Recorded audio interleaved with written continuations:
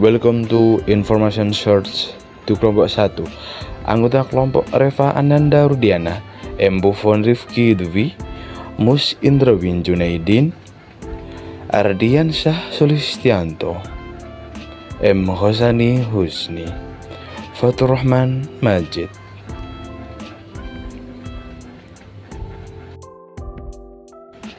Apa itu strategi information search? Strategi pembelajaran Information search adalah strategi pembelajaran untuk mencari informasi atau memberikan kesempatan kepada siswa untuk belajar di luar kelas. Informasi tersebut dapat diperoleh dari berbagai sumber atau media per pembelajaran yang bernilai edukatif, misalkan koran, televisi, radio, internet, dan lain-lain. Apa tujuan strategi information search?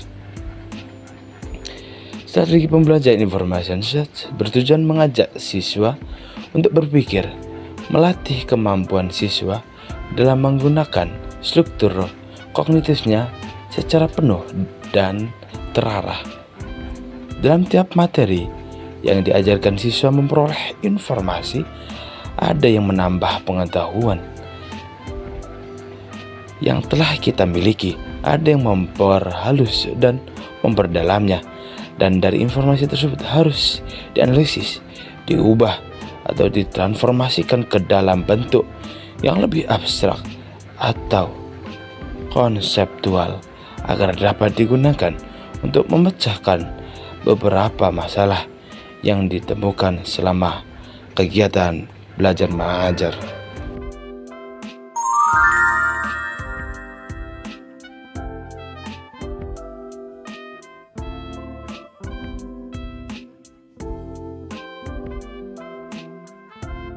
Oke, baiklah. Sebelum melanjutkan materi, mari kita mengulang sedikit materi kita sebelumnya, yaitu tentang peradaban Islam pada masa Rasulullah. Ayo, siapa yang masih ingat?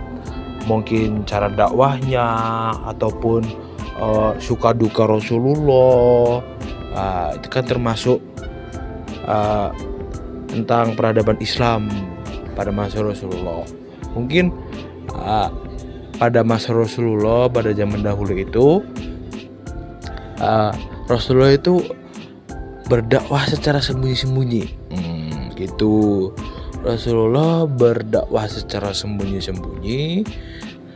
Terus yang didakwai siapa? Yaitu keluarganya terlebih dahulu. Keluarga lebih dahulu, sana saudara kerabat gitu.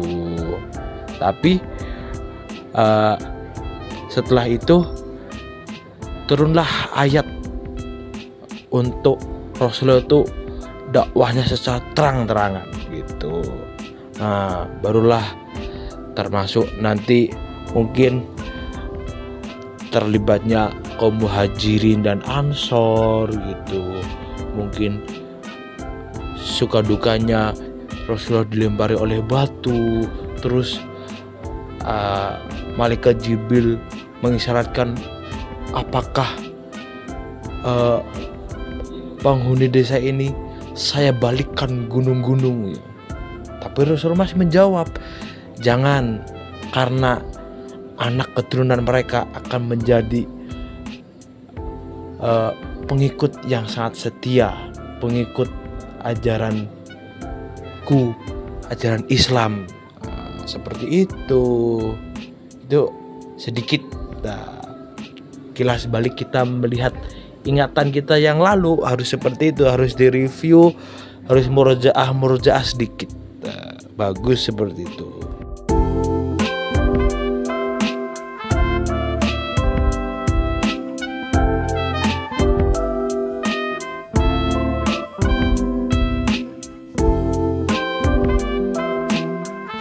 Oke, baik.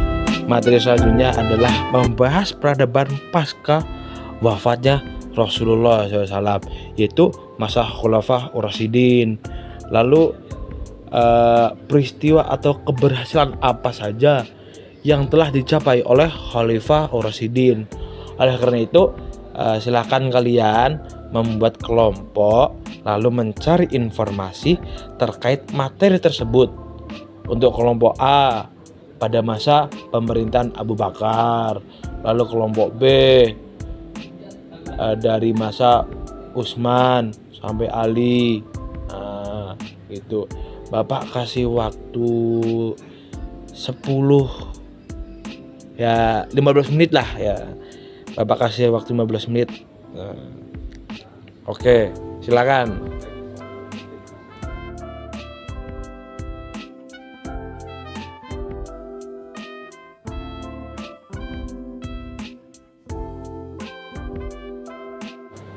Oke, waktunya udah habis, udah 15 menit lewat. Uh, silahkan setiap kelompok memberikan hasil informasi yang kalian temukan, yang kalian dapat. Silahkan dipaparkan untuk teman-teman. Silakan, ayo. Baik, hasil diskusi dari kelompok kami adalah uh, membahas tentang bagaimana kondisi kepemimpinan pada masa Khalifah Abu Bakar, khususnya dalam uh, bidang sosial politik.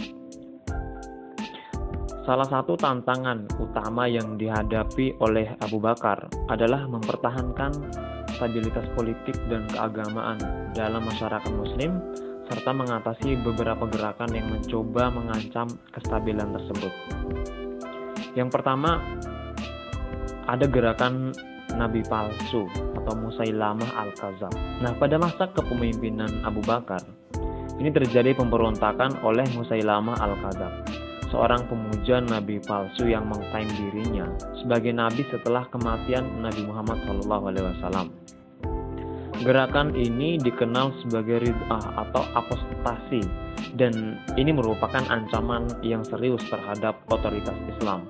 Abu Bakar berhasil mengatasi pemberontakan ini melalui kampanye militer yang dikenal sebagai perang rid'ah atau perang murtad. Ya kemudian yang kedua ada gerakan kaum murtad atau rid'ah. Nah setelah wafatnya Nabi Muhammad, beberapa suku Arab di luar Madinah mencoba untuk memisahkan diri dan mengumumkan kemerdekaan mereka dalam Islam. Abu Bakar harus menghadapi serangkaian kampanye militer untuk uh, memadamkan pemberontakan ini. Upaya ini disebut atau dikenal dengan perang Rid'ah. Kepemimpinan tegas Abu Bakar dalam mengatasi gerakan Rid'ah ini membantu mempertahankan integritas dan stabilitas negara baru yang disebut Khilafah Rasyidin. Kemudian uh, yang ketiga adalah gerakan orang munafik atau munafikun. Nah, ada juga gerakan orang munafik yaitu orang-orang yang berpura-pura menjadi muslim tetapi sebenarnya menyembunyikan ketidakimanan mereka. Nah, mereka menciptakan ketidakstabilan dan ketidakpercayaan dalam komunitas muslim. Abu Bakar As-Siddiq memonitor dan menghadapi ancaman dari orang-orang munafik ini dengan sangat ketat dan banyak dari mereka terungkap uh, dan dihadapi konsekuensinya. Kemudian eh, selama masa kepemimpinan Abu Bakar, perjuangan melawan berbagai gerakan yang mencoba mengganggu stabilitas sosial dan politik dalam masyarakat muslim ini sangat penting. Dengan ketegasan dan kepemimpinan yang kuat, Abu Bakar berhasil mempertahankan otoritas Islam, mengatasi pemberontakan dan menjaga kesatuan khilafah Rasulullah. Kepemimpinan Abu Bakar dalam menghadapi tantangan ini telah dianggap sebagai faktor penting dalam menjaga kesatuan dan stabilitas awal umat Islam.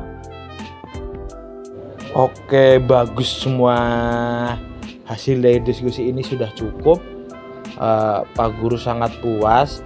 Setiap kelompok sudah memberikan contoh dari peradaban Khulafaur Rasidin. Setiap contoh-contohnya dari mungkin dari Abu Bakar, Umar, terus Usman sampai ke Ali. Nah, Oke, baiklah, mari kita akhiri pertemuan kali ini. Uh, jangan sampai lupa uh, murojaah lagi ya, karena mungkin pekan depan nanti Pak Guru uh, tunjuk satu-satu ataupun diskusi yang kemarin yang hari ini harus kita ingat kita pahami oke cukup sekian dari Bapak terima kasih semuanya